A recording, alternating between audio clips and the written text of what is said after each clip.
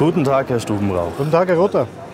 Erklären Sie mir doch mal bitte. Ich sehe hier ganz, ganz viele Kristalle und sehe bunte Lichter. Was hat es mit dem Tisch auf sich? Unser Tisch Burning Crystal ist gefüllt mit Glaskristallen. Okay.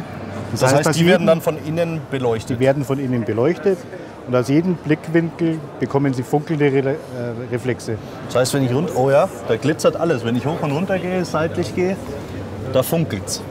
Das heißt, dass ähm, Sie wollen wirklich Leute mit diesen Reflexionen auch kriegen und, und nicht nur den Tisch als Möbelstück sehen, sondern auch als Kunststück. Kann man so weit gehen? Als Kunststück, es ist Kunststück, es ist Handarbeit und es ist deutsche Handarbeit.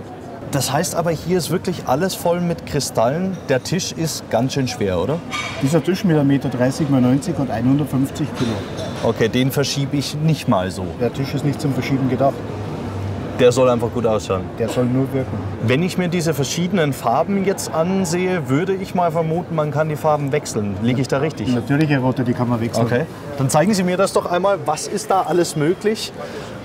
Die Farben des Tisches können Sie einfach per App verstellen. Sie können hier die Flächen der Tische verstellen. Okay. Sie können den Rand der Tische, die Farben verstellen und natürlich auch die Tischbeine. Die Tischbeine sind auch wechselbar, okay? Das ist Sie also eine sehr bunte Angelegenheit, kann man sagen. ist eine bunte Angelegenheit und Sie können jede Option dimmen und diese Einstellung dann abspeichern. Wer kauft das? Was sind so Ihre Kunden? Jeder, der wohl Licht und Farbe liebt.